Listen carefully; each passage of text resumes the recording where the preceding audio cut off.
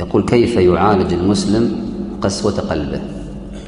أنا بعطيكم قصة معي أنا في هذا الموضوع.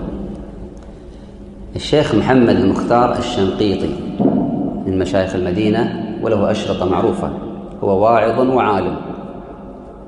كان يدرسنا في الجامعة الإسلامية في المدينة وكانت لي معه يعني آه، علاقة. فركب معي في سيارتي. فسألته هذا السؤال قلت ما هو علاج قسوة القلب. فأجابني بجواب غريب وعجيب.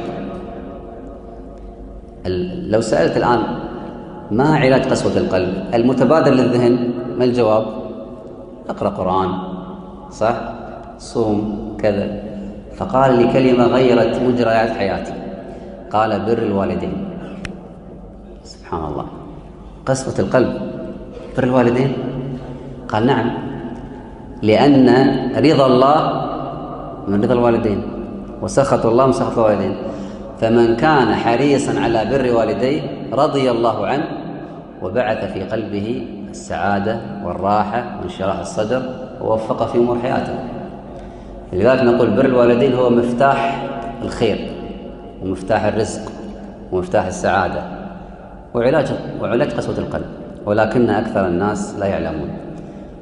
فكلما ازددت من برك بوالديك وأدخلت السرور على قلبيهما ستجد توفيقا وتيسيرا وانشراحا وراحة. فنكتفي بهذا مو الأسئلة نكتفي بهذه النقطة في هذا السؤال.